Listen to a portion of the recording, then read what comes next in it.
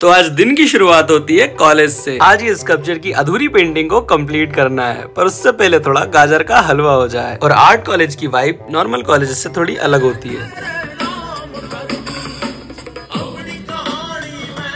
Painting करते करते music सुनना ये तो मस्ट है। और हमारी एक सब्जेक्ट की क्लास एक वीक तक चलती है। खैर, अब कॉलेज की हो चुकी है छुट्टी और हमारा काम भी कंप्लीट हो चुका है। काम करने के बाद निकल जाते हैं सीधा स्टेशनरी शॉप पे, क्योंकि मुझे कुछ शीट्स लेनी थी। तो सबसे पहले तो भीड़ में भटकते हुए हम पहुँचते हैं ये वाली स्टेशनरी शॉप पे, जय हिंद पे। पर यहाँ पे शीट्स थोड़ी महँगी होती है। तो फिर हम कचौड़ी पे डिसाइड करते हैं की शीट अब दूसरी जगह से ली जाएगी। और ये ब्रशेस के दाम देखो भाई, ये चौदह सौ साठ रुपए का ब्रश है। एक लोता ब्रश चौदह सौ साठ का। खैर, जो लेने आए थे वो उठाया। और निकल गया सीधा जलजीरा पीने। और ये जलजीरा कम फुल्की का पानी ज़्यादा लग रहा था। इससे अच्छा बीस रुपए की फुल्की खाली होती तो फुल्की भी साथ में मिल जाती। और जिसको भी फुल्की का मतलब समझ नहीं आ रहा, फुल्की मतलब होता है पानी पूरी। फिर बाद में बनाया शाम को बैंगन का भरता और इतनी मेहनत के बाद जैसा भी खाना बना हो अच्छा ही लगता है। मिलता हूँ आपसे नेक्स्ट वीडियो में, तब तक के लिए सब्सक्राइब